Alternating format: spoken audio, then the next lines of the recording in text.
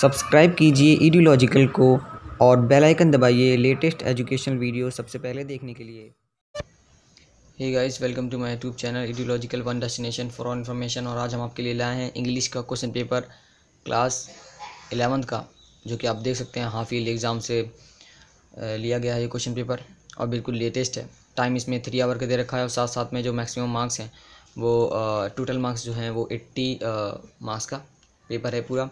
तो इसमें मैं आपको बताऊँगा कि किस तरीके से आपके स्कूल में या आपके इंस्टीट्यूशन में किस तरीके से क्वेश्चन पूछे आ सकते हैं और किस पैटर्न के हिसाब से ये जो क्वेश्चंस हैं, वो आ सकते हैं। और आपके लिए बहुत ज़्यादा इंपॉर्टेंट है कि आप इस क्वेश्चन पेपर को प्रैक्टिस भी करें। साथ साथ मैं आपको थोड़ा इसे ऊपर करके दिखा देता हूँ। देख सकते हैं आप कि सबसे पहले आपको पैसेज दे रखा है। उससे पहले आपको जो इंस्ट्रक्शंस हैं, वो बहुत ज़्यादा इंपॉर्टेंट है आपको पढ़ने के लिए। तो यहाँ पे देखिए, जो भी इंस्ट्रक्शन दे रखी है और सबसे पहले आप क्वालिटी बढ़ा लीजिए अपनी वीडियो की ताकि आपको बिल्कुल साफ़ दिखे और आप आसानी से स्क्रीनशॉट खींच सकते हैं जब आप चाहें।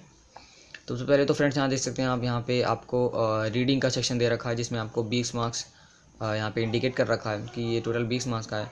तो ये पूरी यहाँ पे पैसेज है, इसके नेक्स्ट पेज पे आपको क्वेश्चंस मिलेंगे। इसी के साथ मैं फ्रेंड्स आपको दिखाते जा रहा हूँ। आप आराम से देख सकते हैं यहाँ पे।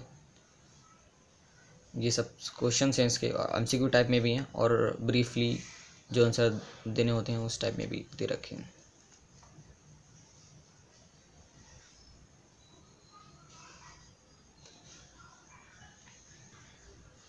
और यहाँ पे ए थ्री तक, यानी कि ए थ्री तक वो जो पहला पार्ट है वो ख़त्म होता है।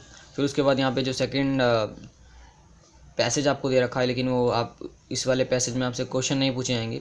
इस वाले पैसेज में आपको सिर्फ़ और सिर्फ़ आपको पता ही होगा कि नोट राइटिंग और समरी वगैरह आती है। तो इस पैसेज से आपको उसी के बारे में पूछा जाएगा। इसीलिए यहाँ पे जो सेकंड नंबर क्वेश्चन है, इसके नीचे आप देख सकते हैं पैसेज में पहले आपको दिखा देता हूँ।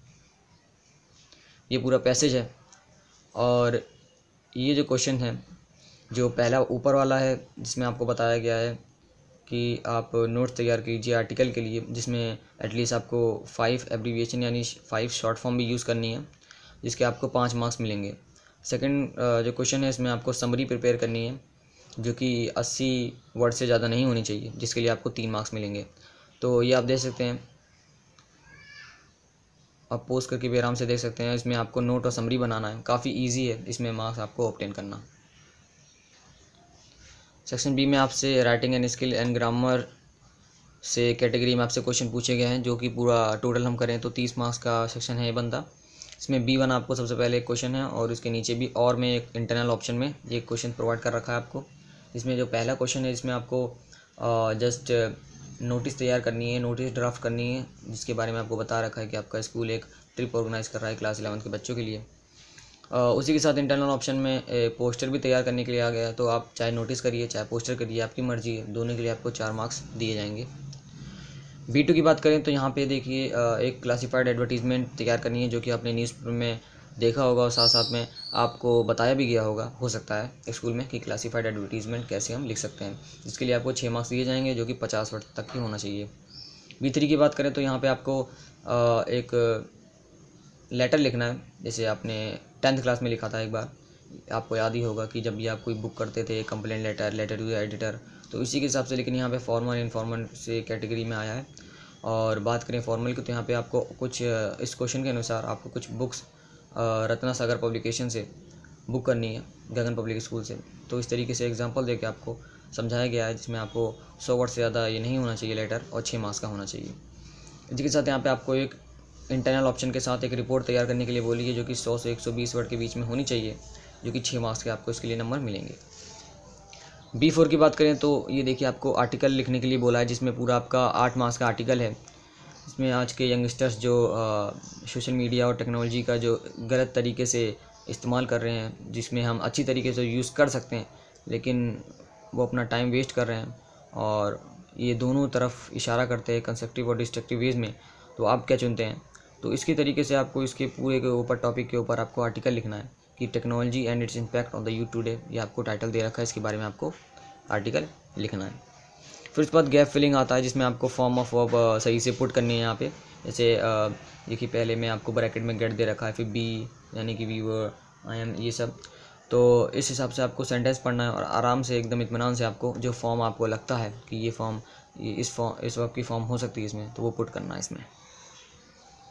तो फिर उसके बाद ये देखिए यहाँ पे वो लाइन ख़त्म होती है इस क्वेश्चन की। फिर उसके नीचे ही just B six question start हो जाता है जो कि आप नाइन्थ क्लास से इस टाइप के क्वेश्चन करते आ रहे हैं, आपको पता ही होगा एडिटिंग ओमिशन तो इसमें भी काफ़ी आसान आपके लिए बनी गया होगा, क्योंकि अपने कई तीन, दो साल से आप प्रैक्टिस कर रहे हैं इस चीज़ की। तो इनकरेक्ट करेक्ट आपको यहाँ पे पढ़ना है, और जस्ट आपको जो इनकरेक्ट है, वो इनकरेक्ट लिख के और उसे करेक्ट करके अगले कॉलम में उसे लिखना है।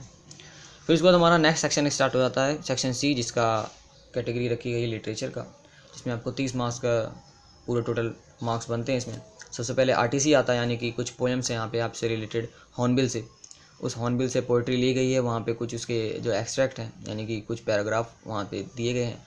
उस रिलेटेड आपको जो क्वेश्चन पूछे गए हैं, वो आंसर देना है। पहला जो है वो मैंने टॉप से पूछा गया है, फिर उसके बाद वॉइस ऑफ़ द रेन से आपको क्वेश्चन पूछे गए हैं। चलिए अगले पे चलते हैं। यहाँ पे आप पोस्ट करके स्क्रीनशॉट भी ले सकते हैं। ये देखिए यहाँ पे ये जो क्वेश्चन है सी वन का वो ख़त्म होता है और इसके नीचे जो क्वेश्चन हैं सी टू में आप बात करें तो मेन जो क्वेश्चन आए हैं आपके लिटरेचर से वो हैं इसमें आप ऑप्शन दे रखे हैं फाइव क्वेश्चन के यहाँ पे टोटल सिक्स क्वेश्चन यानी आप फाइव क्वेश्चन पे कोई भी पिकअप कर सकते हैं।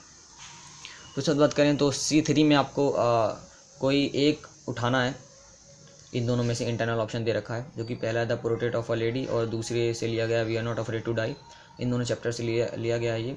इसमें आपको एक्सप्लेन करना है पूरा। आप छः मास के हिसाब से आपको एक्सप्लेन करना है तो आप देख सकते हैं किस तरीके से आपको, किस हिसाब से आपको लिखना है। सी फोर में बताएँ तो यहाँ पे देखिए, यहाँ पे भी इंटरनल ऑप्शन दे रखा है, कोई एक करना है जिसके लिए आपको छः मार्क्स दिए जाएँगे। दोनों में ही आपको एक तरीके से कैरेक्टर स्केच ही लिखना है। एक में आपको गैरोगलेनियन ट्राइब के बारे में लिखना है और दूसरे में आपको मिसिस डोलिन के बारे में लिखना है, जो कि सौ वर्ड तक होना चाहिए। सी फाइव की बात करें तो ये लास्ट क्वेश्चन है और यहाँ पे आपको एक और डिस्क्रिप्टिव जो क्वेश्चन है, यानी कि एक्सप्लेन करने वाले, यहाँ पे पूछा गया है कि कौन कौन से थ्री फेसेस रिलेशनशिप हैं जो खुशवंत सिंह, ये पहला क्वेश्चन भी था आपका हॉर्न बिल का, लेकिन वो ब्रीफली था। इसमें आपको उसको एक्सप्लेन कर देना है। फिर उसके बाद आपको यहाँ बताना है कि क्या क्या प्रिकॉशन लिए गए बे वॉकर को बचाने के लिए। और सी से बचने के लिए और पानी जो भर रहा था तो इस हिसाब से आपको पूरा एक्सप्लेन करना है। और इसके टोटल जो है वो छः मार्क्स हैं तो आपको देखना है कि आप किस हिसाब से किस फ्लो में आप लिख सकते हैं और किस तरीके से आपको ये छः मार्क्स मिल सकते हैं। तो फ्रेंड्स कैसे लगी इंग्लिश की वीडियो कमेंट करके ज़रूर बताएँ। इस वीडियो को लाइक करें शेयर करें। वीडियो देखने के लिए बहुत बहुत धन्यवाद। जय हिंद, जय भारत।